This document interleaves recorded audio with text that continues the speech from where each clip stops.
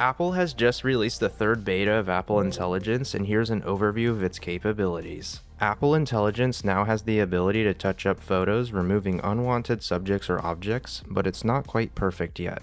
You can still stumble over your words, and Siri will still understand what you're trying to say.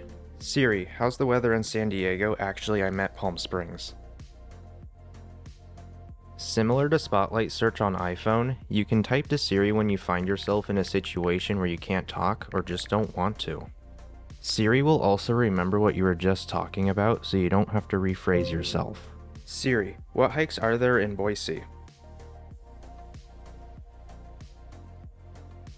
How about restaurants? Lastly, Siri can take what you wrote and make it more friendly, professional, concise, and proofread to check your grammar.